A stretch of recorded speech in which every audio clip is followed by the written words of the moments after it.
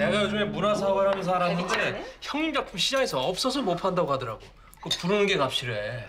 그래요? 형님 같은 하풍을 가진 작가가 우리나라에 몇 없지 않습니까? 독자적 스타일의 추상 표현주의. 주상 표현주의? 표현주의는 뭐야? 작가님 글 쓰세요 요즘에? 아 이렇게 뭘 모른다니까. 작가님 오셨어요. 여기 앉으세요. 초대해 주셔서 감사해요. 형님이 웬일을 우리를 다 부르셨대.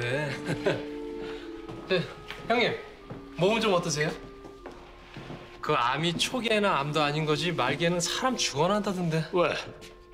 어차피 시험 보니까 얼른 죽어서 유산이나 남겨달라는 거야? 아 그렇게 사람 말을 곡해하면 서운하죠. 제가 형님 몸에 좋다는 약을 얼마나 힘들게 구해왔는데. 몸에 좋다는 거 많이 먹으면 죽을 때 골골거리면서 고생한다는데 왜? 나 죽을 때도 곱게 죽는 거 못 보겠다는 거야?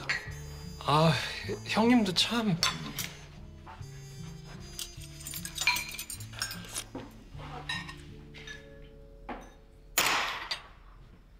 자, 세계적인 아티스트 유인호 몰라요? 재수 없는 늙은이. 이 집안의 독재자죠. 여사님.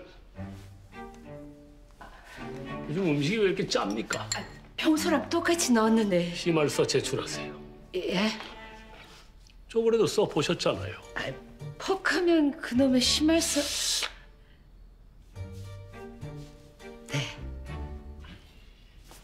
작가님 요거 요거 요거 드셔보세요. 요거는 간이 맞아요. 아,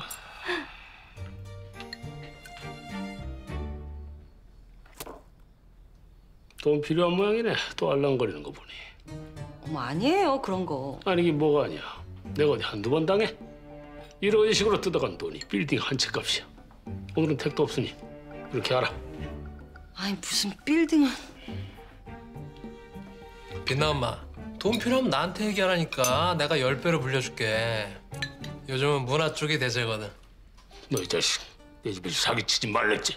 형님 이건 사기가 아니라 투자. 그런 말 할 거면 당장 꺼져. 아 형 왜 사람 말도 못하게. 사기꾼 같은 놈. 널 부르는 게 아니었어.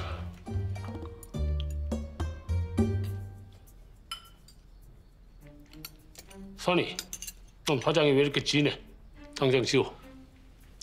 제 딸이라서 그런 게 아니라 화장하니까 이쁘기만 한데요 뭐. 얼른 가서 못 지워!